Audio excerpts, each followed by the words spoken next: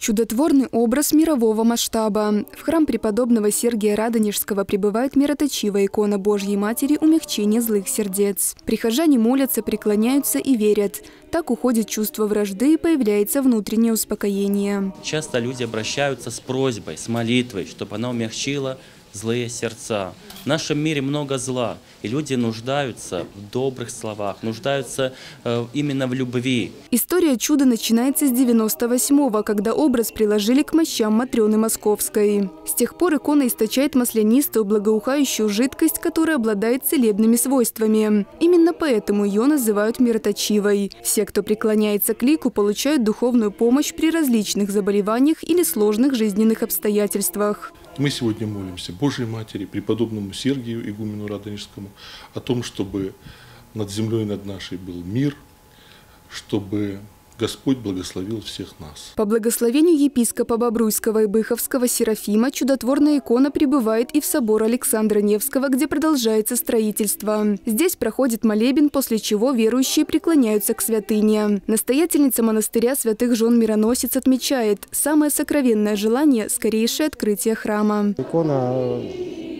имеет свой дом в Москве. Небольшая церковь построена для этого образа специально, но там она редко находится, потому что постоянно путешествует от Калининграда до Сахалина и от Австралии до Соединенных Штатов Америки. К нам пришла самая главная любовь, любовь Царицы Небесной, которая возрела на наш город, на нашу обитель, на собор Александра Невского, который мы с такими трудностями и испытаниями строим.